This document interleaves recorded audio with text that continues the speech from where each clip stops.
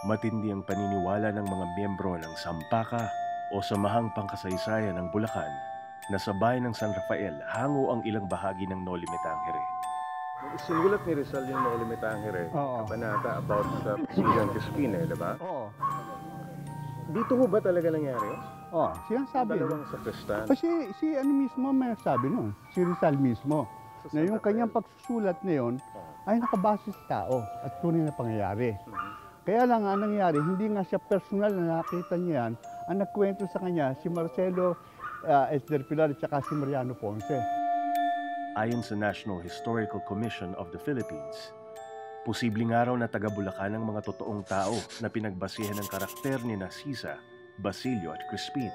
Sabi nga ni Rizal, ang Noli Me Tangere ay hango sa totoong kaganapan. At sabi pa nga ni Rizal sa isang letter niya na hindi niya naibigay kung kanino, na isingit sa isang notebook niya noong 1880, 1888, 1889, binanggit niya ron na kaya kong patunayan yung mga totoong, na totoong nangyari itong mga nakasulat sa Noli Me Tangere. Kung titingnan niyo yung translation ni Charles Derbyshire ng Noli Me Tangere, yung The Social Cancer, noong 1912, may footnote siya kung sino si Padre Salvi.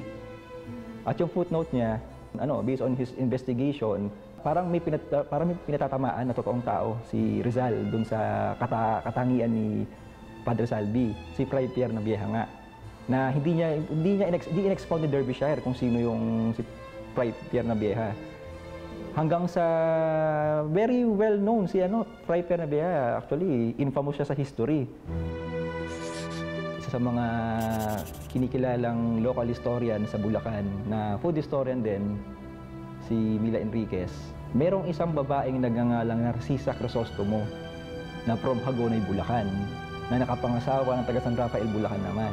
At yung bahay nila malapit sa San Juan de Dios, dun sa uh, simbahan ng San Juan de Dios. Yun, very promising lang na meron palang ganong kwento na eh, merong isang Narcisa Crisostomo pala during the time na kinokonekta sa Noli Me Tangere sa Bulacan. At mula dun sa kwento na yon based from the late Mila, uh, Mila Enriquez, eh wala nang detalye pa. Naniniwala rin ang mga taga San Rafael na ang kanilang simbahan ay may pagkakahawig sa simbahan ng San Diego sa Nobela.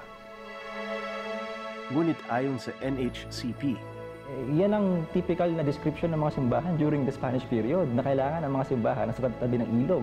Uh, ang daming matatandang bayan during the, during the Spanish period na eh, itinayo malapit sa ilog. Kasi nga, ilog ang major thoroughfare noon. Wala pang kalsada noon. Kaya um, it's an open ano pa rin, open interpretation pa rin. Possibly baka may, may mag-claim na taga Batangas.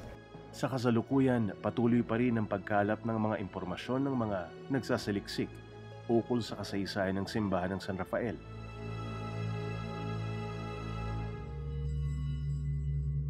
Para naman sa nakuha ng video ng tila lumulutang na ilaw sa mga kwarto, Basta orb anything circular.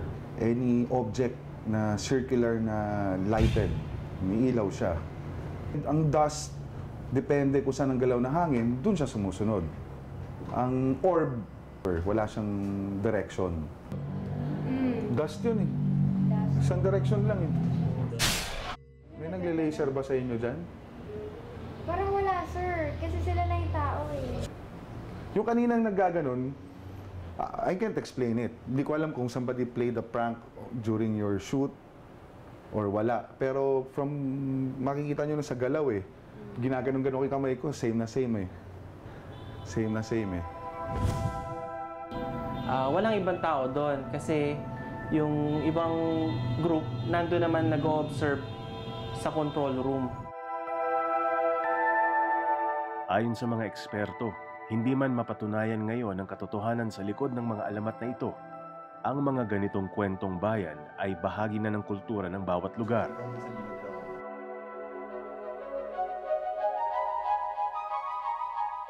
At ang kasaysayan daw ay patuloy na nabubuo sa paglipas ng panahon. At sa pamamagitan ng pagsasaliksik, nabibigyang linaw ang detalye ng mga nakaraan.